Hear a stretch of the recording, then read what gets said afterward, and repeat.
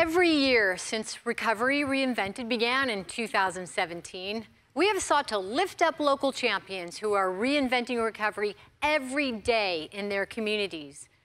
These recovery champions embody the mission of Recovery Reinvented. They end the shame and stigma of the disease of addiction. They help create a statewide culture that embraces recovery through concerted grassroots efforts. They are change makers on the front lines and in the trenches and the courageous faces and voices of recovery who use their stories to create meaningful change. Across North Dakota, individuals, communities, and organizations are working hard to reinvent recovery. They're working hard to eliminate the shame and stigma of addiction that prevents people from seeking treatment. And they help us focus on treating addiction like the disease it is. Today, we're honored to present four awards in four different categories, recognizing a group of extraordinary individuals. And again, carrying on this tradition, this is the fourth year.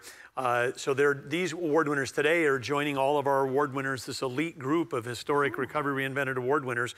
Quite a class uh, that we have today, but these are Recovery Champion Awards. You know, this is such an important part of Recovery Reinvented, and it's I just get so excited about it. It's so exciting. Anyway, so today's recipients are examples of the best of the best among us. Mm, that sounds like a Top Gun, you know, best of the best, right? Top Gun, mm -hmm. you know. Yep. Anyway, and we take this opportunity to celebrate their accomplishments and to express our deepest gratitude for their inspiration and incredible efforts. This, this year, uh, is really no different. Uh, and each year, the awards we've had have been inspired by the work of a local artist. Uh, and those artists have been chosen by someone who they themselves have a connection to addiction and recovery. That's right. The awards have been um, usually curated by someone who is in recovery and has a connection to addiction and recovery. I mean, these awards are so cool because they're created yeah, by those physical. people. Yes, yes, and they yes. have that connection. Yeah. And this year's no different. Uh, the artist who developed this year's awards, John Paulson, says that art has saved his light, his life. And so uh, John always has been artistic, but he discovered the healing components of art while seeking treatment for his addictions. Although the artist's work is very precise and intricate, John uses minimal tools, a protractor, haven't used one of those since I don't know, junior high? Geometry. What class was that? Okay. Ge geometry. Right. I just had to know football scores. I didn't have to know geometry stuff. Anyway, fine point markers and poster board. The results is in an organized chaos of colorful geometric shapes. John's art became the basis for this year's awards, and we took his art and then we needed to produce the actual physical awards, and we engaged again Rough Rider Industries. Rough Rider Industries employs the residents of the North Dakota State Correctional Facility in Bismarck. They do fantastic work across a whole number of lines of business, uh, but we want to thank uh, everybody at Rough Rider for helping to produce the awards we're giving out today. Right. I mean, we've worked with Rough Rider over the past, since we started Recovery Reinvented. Um, and, you know, they've helped us make things like name badges. They've created Recovery Reinvented coins.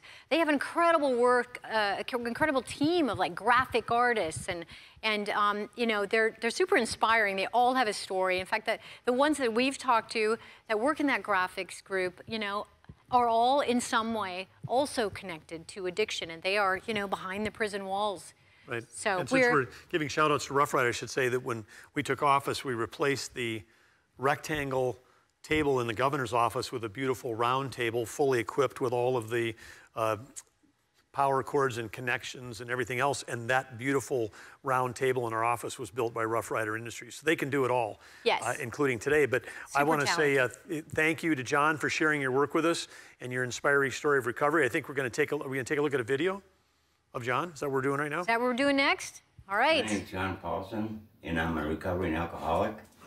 And I'd like to talk about how I'm, how this artwork is doing for me. Actually, you know, I needed to do something with my life since I sobered up. And since I like to do my artwork, I started doing that. And as you can see, this is what I've been doing.